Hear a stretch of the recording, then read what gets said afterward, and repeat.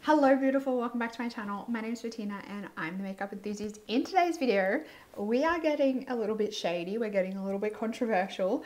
I am bringing you my list of the ugliest palettes released in 2021. This is all a little bit of fun, so if you do enjoy these palettes or you think the color stories are very nice and pretty, then don't get offended. We're, we're just having a little bit of fun here. I have 15 on the list. I think some of these might shock you. Um, you might agree with some of them. Let me know what you think down in the comments. And while you are down there, I hope you would consider subscribing down below so you can keep up to date on all my fun beauty content that I do release. I am doing three videos a week throughout December, as well as my weekly live stream on Sundays. So I would love it if you would consider subscribing and join us um, on the adventure. and without further ado, let's jump on into it. Let me scooch to the side so you can have some viewing area of what I'm talking about. Okay, so we're gonna start off with a bang. We're starting off with a bang. We are starting off with the NYX Cosmetics and Tetris collection for 2021. Uh, just the eyeshadow palette, that's all I'm really talking about in this video is ugly eyeshadow palettes, ugly color stories to me. So this is the NYX Tetris palette. To start off with, I think this palette is far too big. And then to go further, I just feel like they have really failed with the design and setup of this palette. I think it would have been really cool if they formatted this palette in a way where they grouped like color stories together or did like little mini monochromatic color stories in the palette and they marked them out as each of like the individual shapes that you get in the Tetris game. I think that would have been so, so cool. As it stands, it's kind of a little bit of a jumbled mess. It's a huge palette. I don't think it needs to be that big. And I just think that it's a little bit of a fail. It just doesn't look great. Next is this embarrassment of a palette. this is the Ciate I Am a Woman palette. Now, I read this palette to filth when it first came out, and I'm going to do it all over again. I think this palette is an absolute joke. I think Ciate should be really embarrassed with themselves for releasing this. In this palette, they have done a color story. It's quite a pink tone color story as well. Um, they've done a color story and each individual eyeshadow is the name of like a really famous woman in history. So the whole idea of the palette is to like inspire and celebrate like forward think forward thinking women throughout history. However, I just don't think that it's been done very well on top of that, the Ciate formula is generally quite shit. Um, and I just think it's a little bit of an embarrassment. I think they could have stuck with this same theme but chosen better colors to represent the women that they chose. I think the colors that they chose to represent such inspiring and uh, forward thinking women is a little bit disappointing, somewhat disrespectful as well in some cases. They could have still stuck to the idea but executed it a lot better than what they've done. It's just an embarrassment. They should be so ashamed of themselves. I just think this palette it's it's disrespectful to some of these amazing women. And you know, there's also women in here that kind of stuck it to the man and went against the norm and different things like that and defining them as like a boring beige or a boring like light pale pink uh I, no no it's so disgraceful. The next one is another one that i kind of read to filth a little bit. This is the coach collection and it's in collaboration with sephora in this collection, they released a lot of stuff with these kind of like, there's a shark palette, there's a dinosaur palette, there's also a unicorn palette. Each of the palettes have like a little clip on the end so you can use them as like a handbag charm.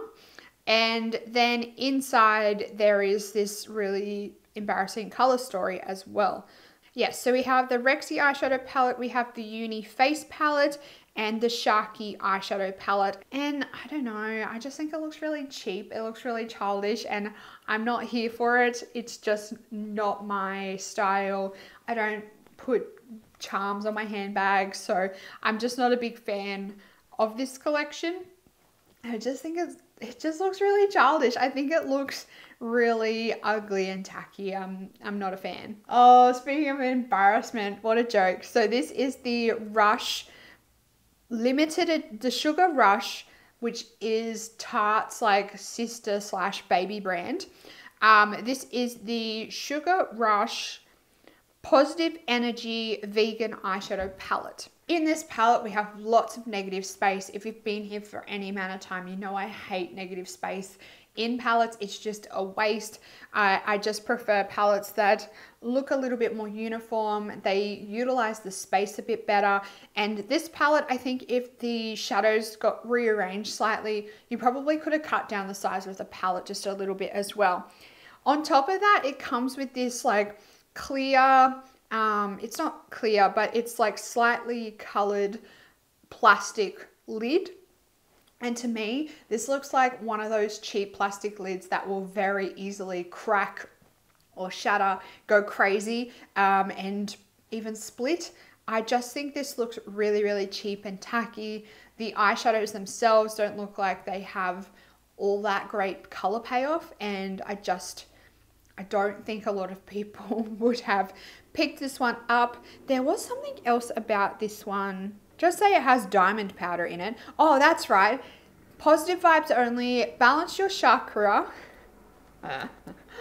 balance your chakra with our new limited edition Sugar Rush Positive Energy Vegan Eyeshadow Palette. So this palette, if you use it, all your chakras are going to be aligned. You're going to have a fantastic time like life is going to be grand for you if you use this palette. Oh gosh. Next is a collaboration with HipDot and I tried to limit the amount of HipDot collaborations that I included in this video. This collection here or this eyeshadow palette here gets into this list, gets onto this list mainly for the packaging. And that's because it comes with this like shag lid this is the HipDot Clueless collaboration.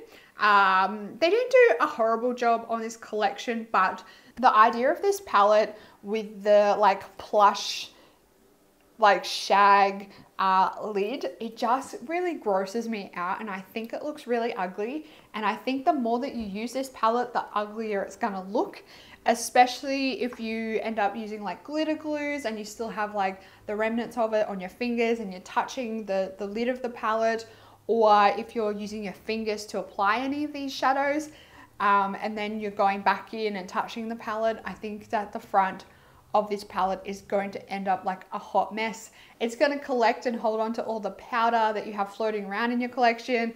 I just, from a practical point of view, I just don't think, I just don't think it really, it's going to really look good after a, a small amount of time in your collection.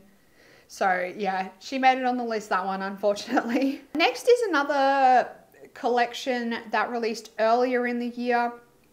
This is the, um, the MAC Cosmetics Cruella collection. In this collection, there were two eyeshadow palettes each eyeshadow palette only had four pans in it, but you could break up each eyeshadow palette into little duos. So they are kind of essentially cut on a bit of an angle and you can pull I had to double check that I wasn't speaking out of turn when I said that they could come apart. But yes, these palettes can either be um, duos or uh, quads. The little drawings on these eyeshadow palettes look really I don't know, I think they look really tacky and I it looks like a two-year-old drew them.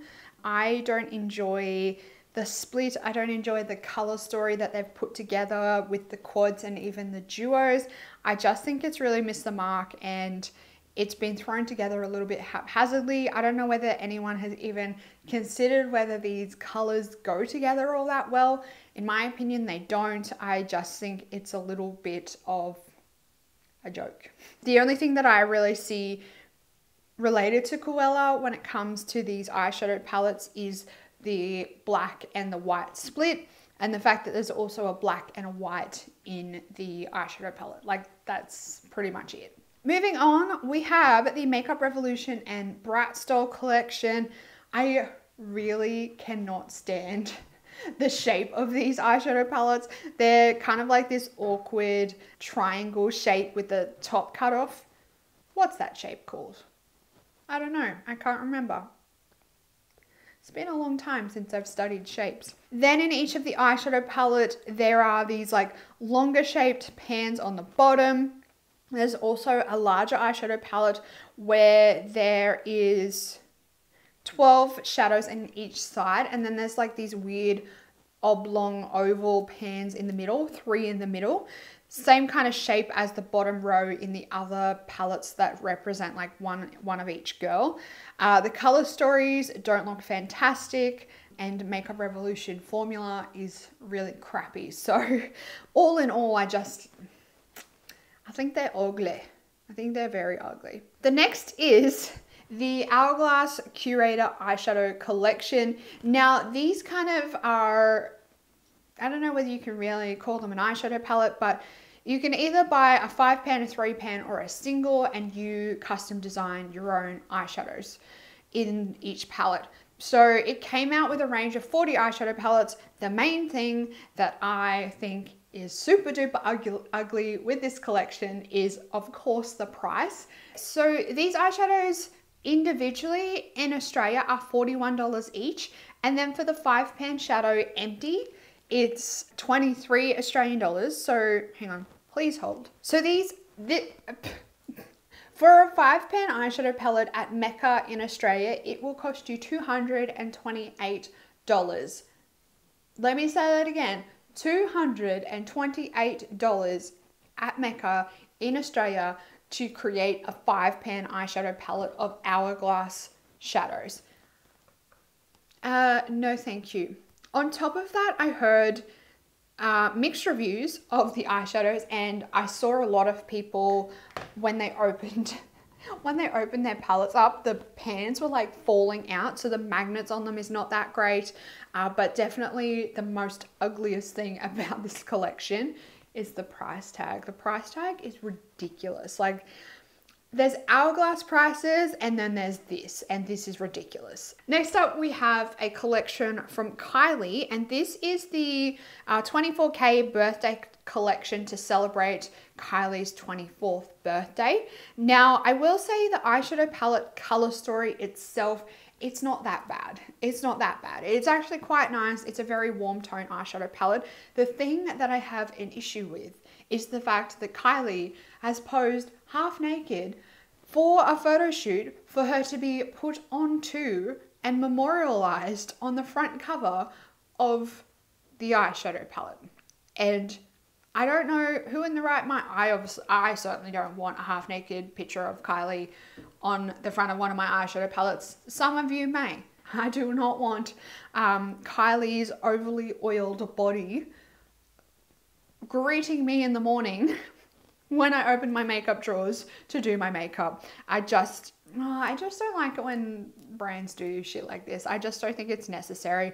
I think it would have been cool if it had maybe like a embossed or like a 3D kind of 24 in gold on the front of the palette or even if it was like one of those kind of perspex packaging with um, like little 24 gold pieces in them or something like that. I think that would have been far cooler than having her overly oiled body on the front of the palette.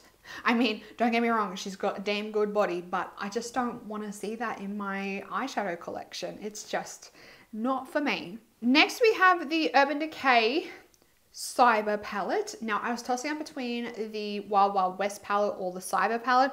Cyber palette made it on this list because in my opinion, I think the front packaging or the front cover of this palette looks really, really cool. Then you open the palette and you get really sadly let down. The eyeshadows themselves, they just don't have any depth to them. I think for the theme, it could have been really, really cool if they um, just put a little bit more thought in there. Some of the shadows are definitely cool, but I think they could have really put some more effort into those duochromes.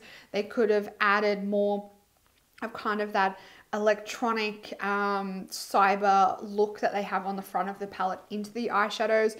And I do think that it just needs a little bit more depth in the palette. It's all very like one level for me. And I think adding even a black in there would have like been able to create some more depth. But some deeper browns in there maybe like some deeper burnt oranges would have been cool. Okay. This is the last Hip Dot collection that I've included on the list. I promise. This is the Hasbro collection. And for one, I just think that this makes it on the list because one, who wants a Play-Doh palette? Two, who wants a Ouija board palette? And three, who wants a freaking Monopoly palette? Definitely not me, not my scene, not my style. The Monopoly palette has Again, lots of wasted space, lots of empty spots there that I think it would have been really cool if they put shadows in those spots, especially where they've got like the ones on each outer corner. I think it would have been really cool if they actually put a shadow in there and put the imprint of that particular square in the pan rather than just having it as like painted cardboard. And then the Ouija board, I'm not about that. I don't want to be tempting fate and bringing that into my collection. And the Play-Doh palette, uh, just seems a little bit childish to me. Like I'm a, a grown-ass woman and this is a Play-Doh palette. Uh, why? Oh, like why? I just, why? Why is this a thing? Why is this a thing? I can like I can get the Ouija board, I can get the Monopoly palette, but the Play-Doh, I don't know. I just wrong scene, wrong scene. Not my time. Next is a palette that I'm really sad that I'm putting on this list, but for me, the color story of the eyeshadow palette, it just didn't make it for me. I had really high hopes when it came to the outer packaging when I saw the inside of the palette, I was really disappointed and somewhat a little bit confused. This is the Menagerie Cosmetics Indigo Ink palette. Now this is the outer packaging and oh, as per usual, Menagerie excel with their outer packaging. This looks absolutely gorgeous, the outer packaging.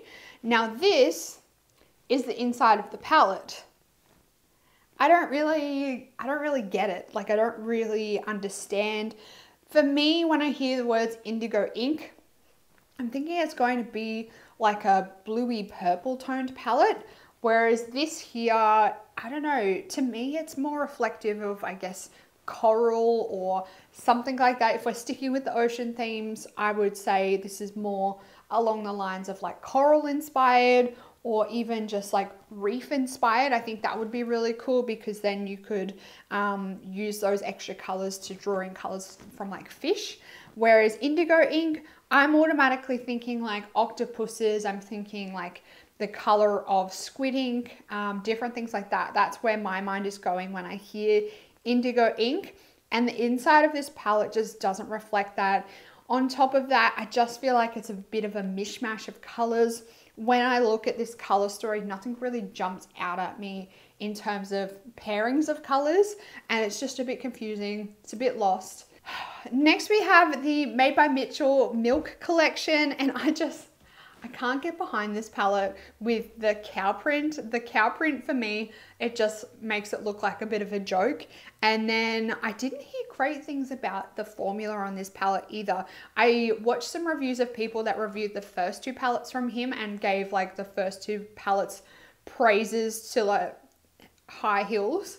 Um, watch those, many praises. And then I watched a review on this palette and people said it just didn't live up to like the praise that the first palette got. So oh, that's a little bit disappointing. And I just, like I said, I can't get behind this like print that he's put behind the eyeshadows. For me, it's really distracting. I just don't like it when palettes do this. I prefer like a solid color, even if it's like black or white. I think that's great when it's just one solid color behind there. And if it's like a solid kind of matte or low sheen color, I think that's even better because it doesn't it doesn't distract you away from the eyeshadow colors and it doesn't kind of throw the hues of the colors off for your eyes. It doesn't play with like the saturation or anything like that when it's just one solid block color behind there. So I don't like it when palettes do this. I think the color story